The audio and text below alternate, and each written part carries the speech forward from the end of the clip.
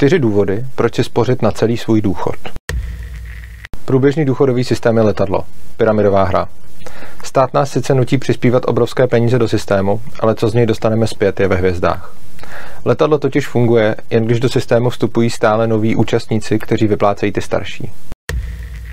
I když politici vidí, že se důchodový systém hroutí a poslední dobou o tom dokonce i mluví, nemají důvod s tím cokoliv dělat.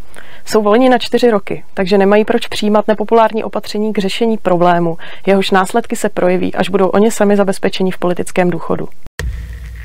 Stát je mizerný hospodář. Utrácí a stále více se zadlužuje. Nikdo se už neptá, zda se bude zadlužovat. Řešíme jen jak moc. Deficit v pouhých desítkách miliard bývá považován za úspěch.